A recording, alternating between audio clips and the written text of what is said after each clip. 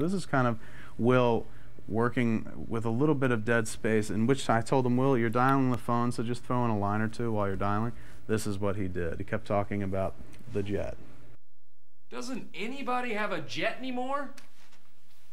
I swear there was a time when people had jets. Just about every department had jets. Not anymore, I guess not.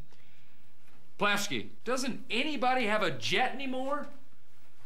Swear to you, there was a time when departments had jets. Some even had two jets. There was one department that. Plavsky, doesn't anybody have a jet anymore? I guess not. You know, there was a time when departments had jets. And I guess that's of a bygone era. A time that no one seems to remember except for me. Plavsky, doesn't anybody have a jet anymore? Heck, even I had a jet up until a year ago. After my divorce. It's a long story, though, that we'll never get to. Plavsky, does anybody have a jet anymore? Jeez. I tell you, for price of a helicopter, you could have three jets. Maybe four, if you buy them in Malaysia. Plavsky, doesn't anybody have a jet anymore?